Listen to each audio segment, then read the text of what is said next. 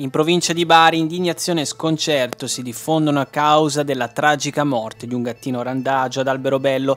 La vittima, chiamata Jerry, faceva parte di una colonia felina accudita da una residente locale. Il cucciolo è stato trovato zuppo d'acqua e praticamente congelato dalla donna che ha denunciato il gesto crudele di una ragazzina.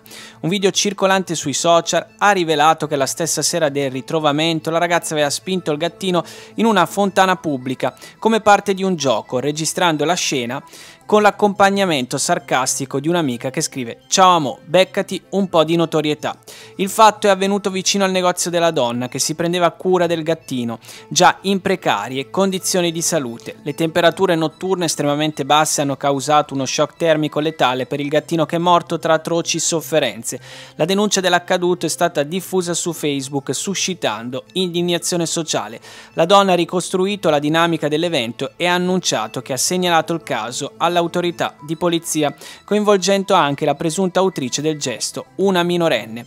La comunità ora chiede giustizia per il povero animale e condanna l'atto insensibile compiuto per divertimento sui social.